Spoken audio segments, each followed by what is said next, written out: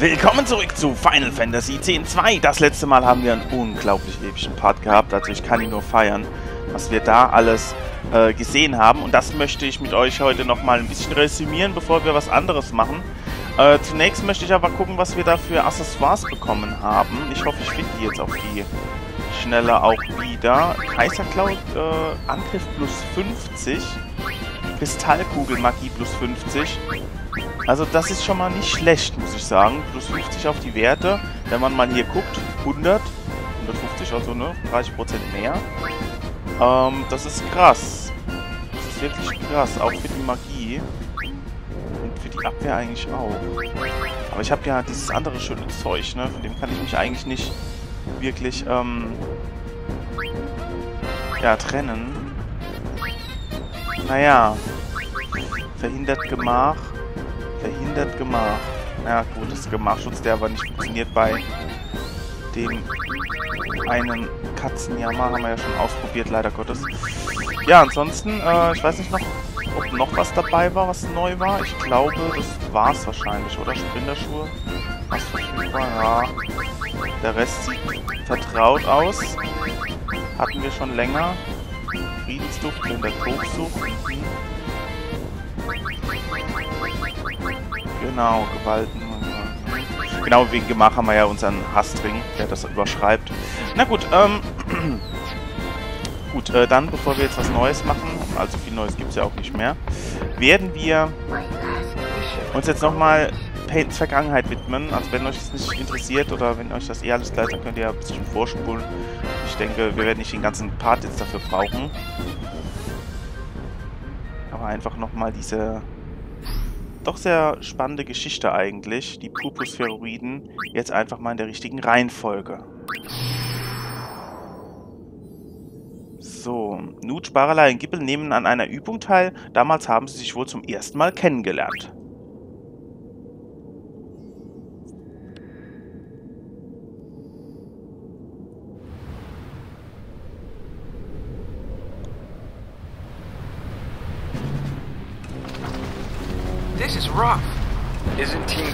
A little carried away? Ugh, but this was supposed to be a drill. Get the...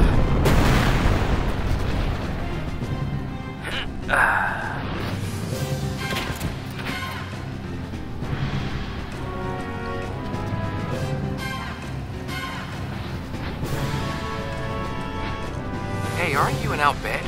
Why are you trying out for the Crimson Squad? Hey, the Outbed want to protect Spirit too. I wanted to be a Crusader, but apparently we're, uh, not eligible. Besides, no one can handle one of these babies like an Outbed can. Machina, even if the Maester's okay with it, what about everyone else? Shut up. We'll get reported. Eh? My name's Barreleye. I'm from Bevel. You? I've seen this a hundred times. Yep, a lot of people'd sooner shoot an Outbed than tell them their name.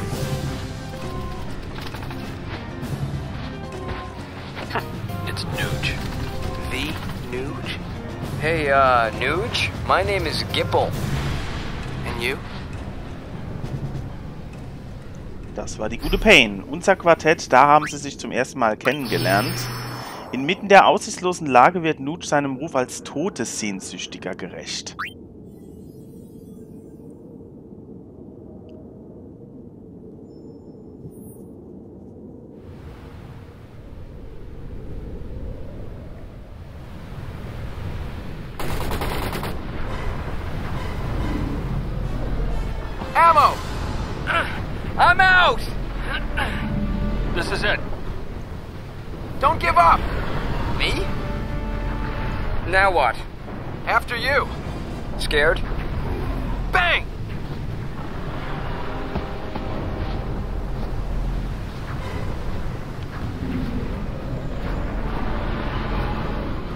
How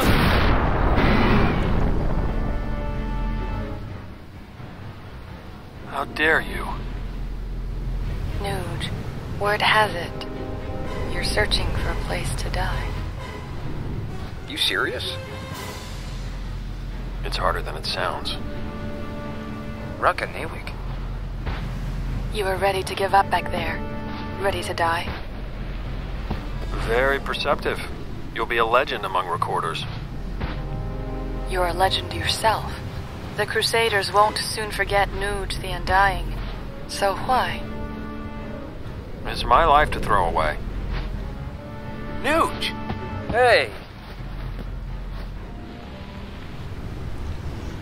Ja, Nutsch, der anscheinend bei der Bürgerwehr damals schon eine Vergangenheit hat, hat Todessehnsüchte, wie wir wissen, aus persönlichen Gründen.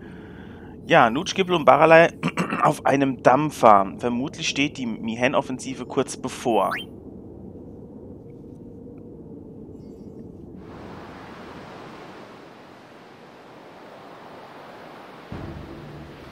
What do you make of this Operation Mihan? With a weapon like that, it's gotta work, right? It's that powerful? A machina that can topple sin. Wow, that's a little scary. Machina this, mocking at that. There's nothing to worry about if you use them right.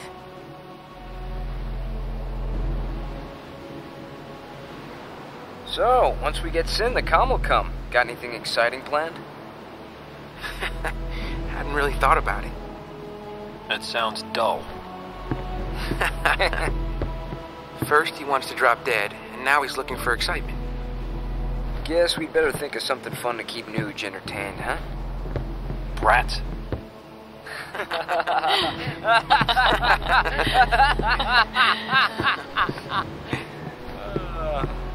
Why don't you join us?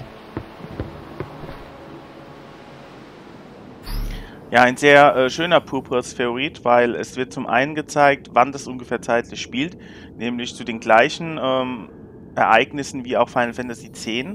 Gleiches äh, hat man jetzt schön rausgehört. Sie stehen kurz vor der Mihen-Offensive und fahren da gerade hin.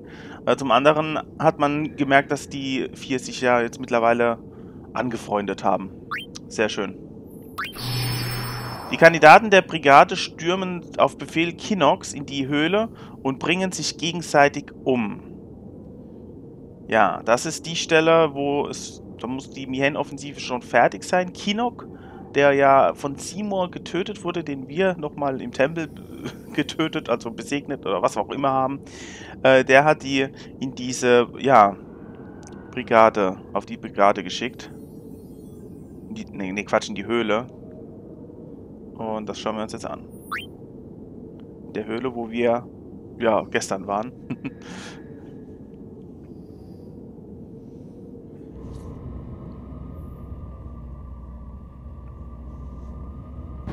This is the final exercise. We have reports of something extremely dangerous inside this cave, but we lack more detailed information. We're to eliminate it? No, you are simply to investigate. Report your findings back to me. Those who return here alive will become formal members of the Crimson Squad. Sir! There aren't enough weapons for all of you. Claiming a weapon for yourself will be part of this exercise. This is it, gentlemen. You have your orders. Begin.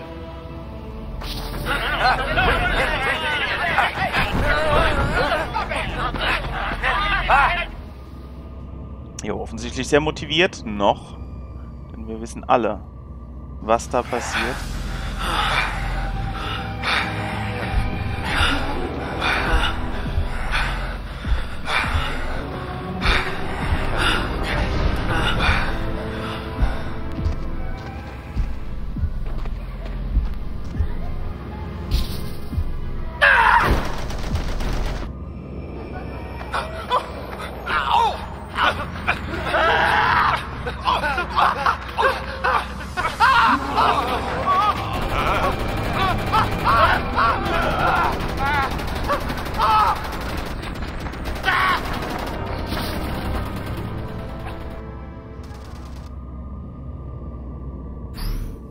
Ja, und jetzt möchte ich mal mit der Story, die wir jetzt natürlich wissen, auch mal hier anknüpfen. Denn Shuyin, der vor tausend Jahren äh, nicht nur sein Leben, sondern auch das Leben von seiner geliebten Len verloren hat, dessen, ähm, ja, Illumina, beziehungsweise sein Hass, seine Erinnerungen, die haben sich regelrecht hier in dieser Höhle, ähm, ja nicht manifestiert, aber angesammelt. Und dieser pure Hass ging jetzt über die äh, Soldaten hinüber, die eben die Höhle entsiegelt haben, leider Gottes. Und äh, dann haben sie angefangen, sich gegenseitig umzubringen. Vor zwei Jahren ist das passiert. Und ja, somit war... Na gut, dann gucken wir erstmal weiter. Nuj wird von Illumina befallen. Also, wir wissen ja, von Shuyin im Grunde, indirekt. Und die drei Freunde bedrohen sich gegenseitig. Was haben die drei gesehen?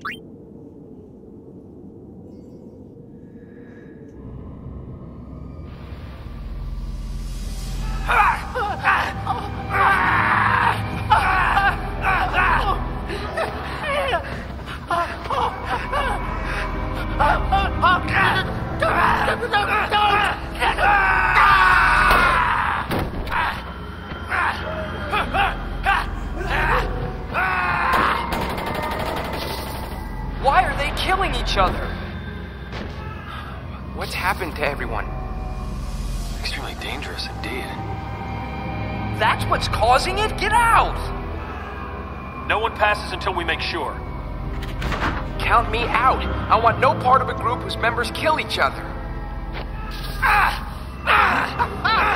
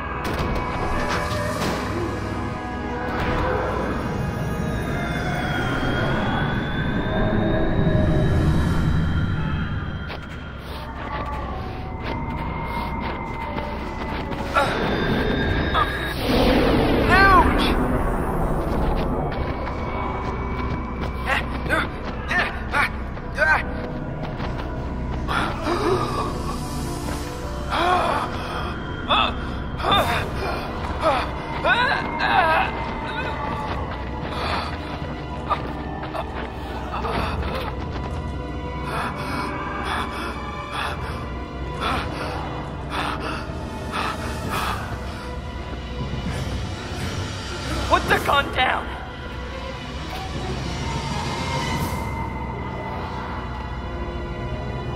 You put your gun down.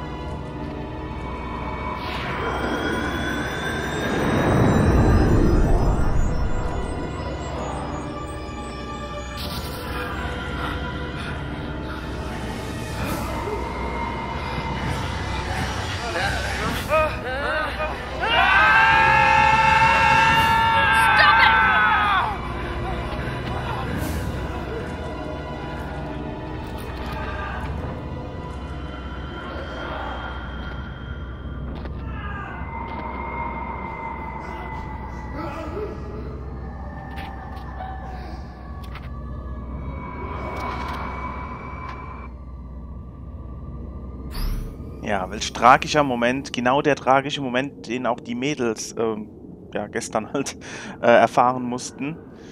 Eieieiei. Aber Shuyin bleibt weiterhin im Körper von Nuj. Die drei kehren aus der Höhle zurück und erstatten Bericht. Weil sie zu viel wissen, versucht man sie umzubringen.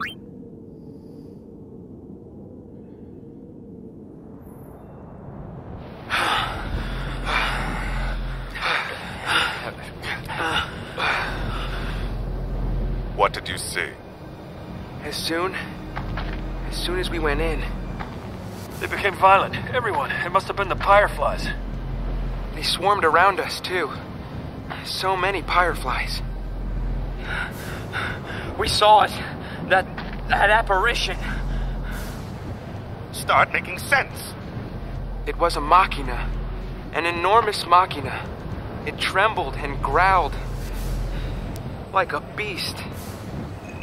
I've never seen anything like it. When I saw the apparition, it got inside me. It made me feel fear, regret, despair. Same here. I can't explain why, but I felt so sad. Yeah. It was like somebody's raw emotions just came out of nowhere and hijacked my brain. Somebody? Somebody who?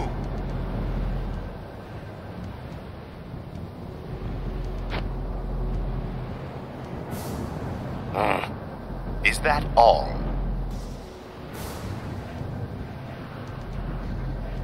Return to the command center at once. Protect the Maester until the operation has concluded.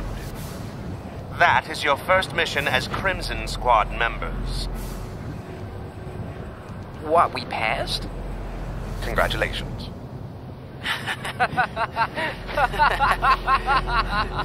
All right!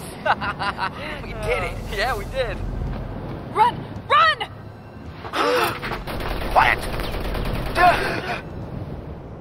Ja, von wegen geschafft. Die wollten sie eiskalt umbringen, nachdem sie Bericht erstattet hatten. Mann, Mann, Mann, Mann, Mann. Ist das gut. Ähm, ja. Äh, machen wir einfach mit dem siebten weiter. Die Umgebung nach zu urteilen, zeigt diese Aufnahme die unmittelbare Folgen der gescheiterten Offensive. Also damit wir jetzt wieder wissen, wo es zeitlich ungefähr abspielt.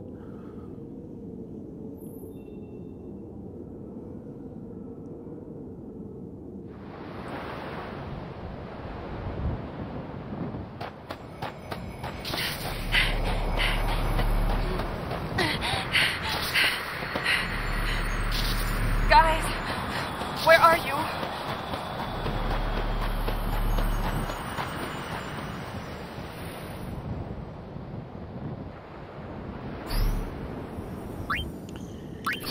Der letzte. Nach dem Beschluss, sich gegenseitig wiederzusehen, kehren die drei ihre gehen die drei ihre eigene Wege. Doch Nut schießt aus heiterem Himmel auf Baralai und Gibbel. Da haben wir dann den Beweis, dass er immer noch besessen ist von Shuyin.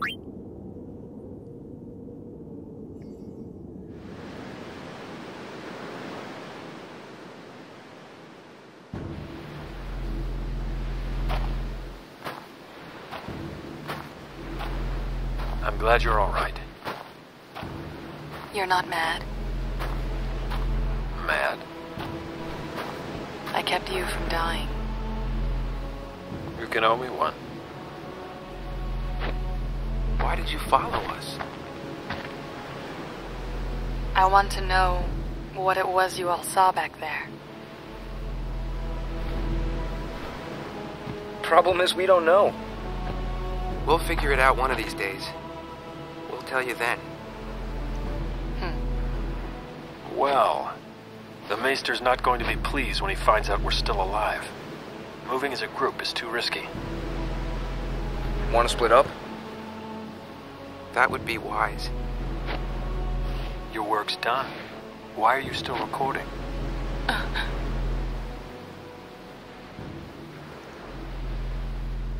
One for old time's sake.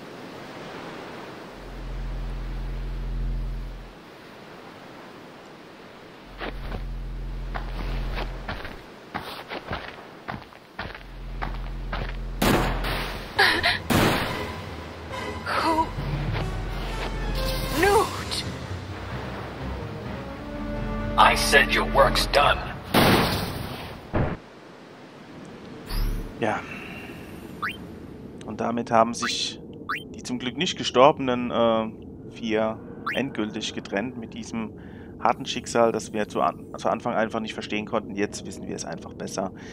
Genauso wie wir wissen, dass äh, Shuyin ja jetzt nicht mehr in Nuch ist, sondern in Baralai, wie wir in dieser einen spannenden Szene gesehen haben. Und dennoch sind die nun, äh, nee, Baralai sowieso als Shuyin im Fahrplan, hat was Großes vor, seine Rache verüben wahrscheinlich. Die anderen hinter ihm her Und wir bald auch, wenn wir da noch ein bisschen weitermachen. Wir gucken uns jetzt noch der Vollständigkeit halber die zwei Purpur-Reporter an. Gehören ja auch mehr oder weniger dazu. Aufnahme der Toten in der Höhle. Es scheint kein Überleben zu geben, doch.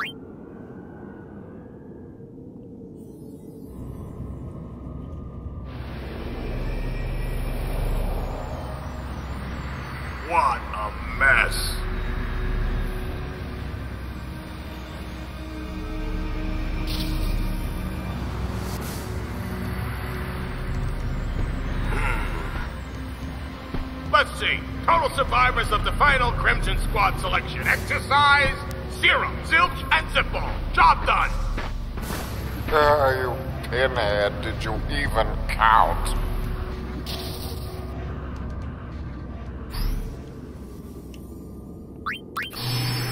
Aufnahme der Toten in der Höhle. Eine Person erscheint und befiehlt die Beseitigung von vier Überlebenden.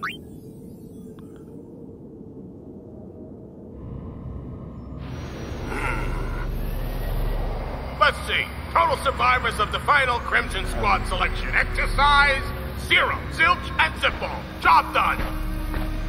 Uh, you pinhead, did you even count? Look, there are bodies missing. There should be three more candidates and their recorder. Uh, your point? Three plus one makes how many? Four still live. Fix it. Yeah.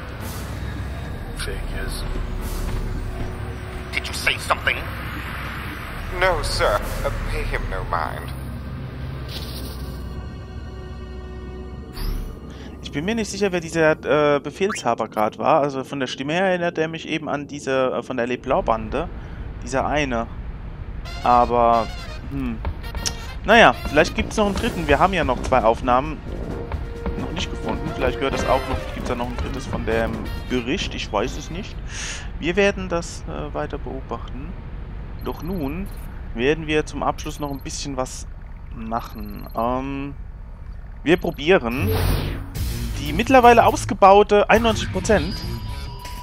Moment mal, 91%, weil wir uns die Pupus-Heroiden angeguckt haben. Von letztes Mal haben wir 90 und nichts weiter gemacht. Ach nee. Oder die Maschine. Nee, nee, nee, nee, nee. Ich, ich, passt schon, passt schon. Die, die, Höhle hat 1% gebracht. Davor habe ich ja gar nicht, äh, danach habe ich ja gar nicht mehr reingeschaut. Okay, wir gehen zum Tempel Josie. Aktive Verbindung. Die Maschina, die ihr gerade besiegt habt, lässt sich mit Reparatur-Items verstärken. Besiegt die ultimative Maschina. Mittlerweile nur noch drei Sterne. Ich glaube, die hatte vor. Hatte die nicht fünf am Anfang noch? Äh, dadurch, dass wir jetzt ein höheres Level haben, nur noch drei. Äh, soll aber nichts heißen. Denn sie ist jetzt voll ausgebaut. Das habe ich damals im Livestream ja gemacht. Ich habe es euch gesagt, dass ich das offline mache, beziehungsweise doch online, aber nicht auf YouTube. Und äh, jetzt mit dem Katzenjammer traue ich mir dieses Vieh erst recht zu. Ohne Katzenjammer wahrscheinlich nicht. Äh, probieren wir es einfach mal. Ähm, speichern. Vielleicht kriegen wir das in dem Part noch unter. Sollte ja eigentlich nicht so lange dauern. Und dann äh, muss ich mir echt überlegen, was wir im nächsten Part machen, weil ja, Tempel geht nichts mehr. Könnte mal langsam ins Endgame gehen. Mal schauen. Falls euch noch irgendwas einfällt, was wir noch tun, machen, holen könnten, sammeln, was weiß ich, dann äh, sagt mir Bescheid. Na, mal schauen.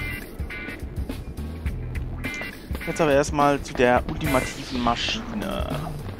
Damals haben wir es auf Level 2 bis Level 3 besiegt. Das war überhaupt kein Problem. Level 5 habe ich es einmal angetestet und ziemlich bockig, sage ich euch. Im Livestream wollte ich es einfach nur mal testen. Ich hätte es euch natürlich gezeigt, wenn ich es geschafft hätte. Aber nee, ich war chancenlos.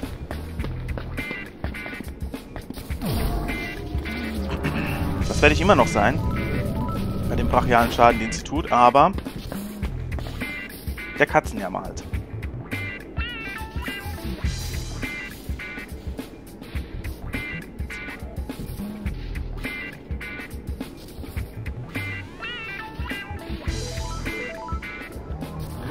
Lui meca, tu bui máquina. Meca!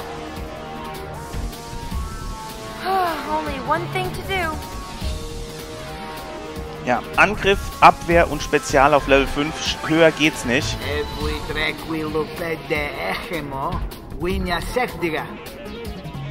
Whose side are you on?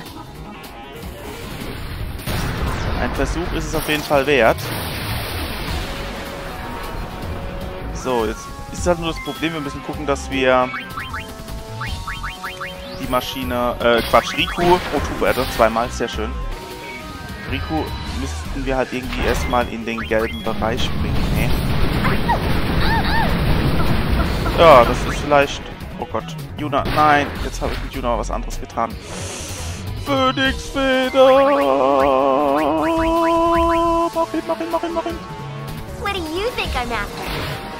Hä, wieso hat Rico gerade gesprochen? Why? Okay.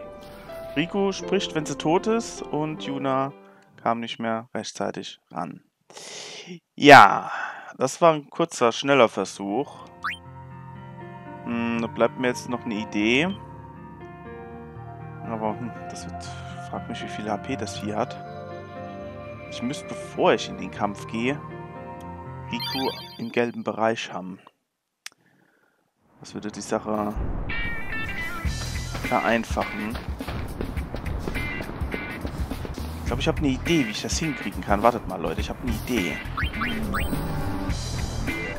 Oh ne, das geht nicht. Ne, das geht nicht. Hm.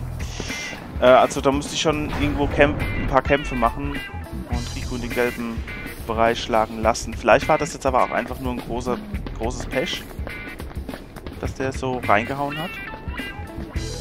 Ich nochmal. Ich werde nichts tun mit Yuna. Und also ich werde nicht normal angreifen. Ich werde jetzt voll auf die Taktik Katzenjammer gehen.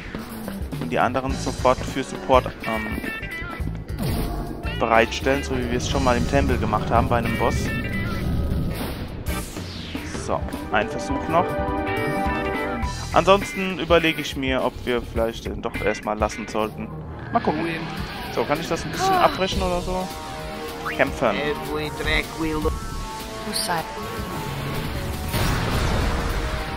Gut. Schauen wir mal, ob das jetzt was wird. Hi there. Ähm, trotz allem möchte ich dich schnell umziehen. Und der Rest wartet.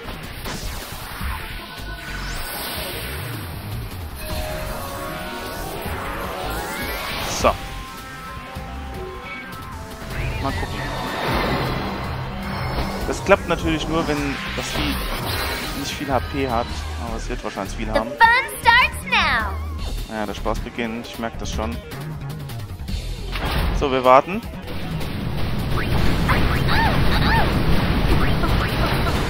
Ah, schade, dass das nicht überlebt hat. Äh, warte mal, dann mache ich jetzt erstmal auf Pain. Hopp, komm, das muss jetzt aber definitiv... Danke. Weil Pain muss wieder beleben. Yuna ist doch... Ja, das hätte ich auch noch umstellen sollen. Oh nein. Ah, doch, das ist gut. Jetzt gibt es eine Mega-Phönix. Und Riku ist im gelben Bereich. So. Nur, nur mal gucken, dass wir das hinkriegen. Jawohl, der Schaden passt.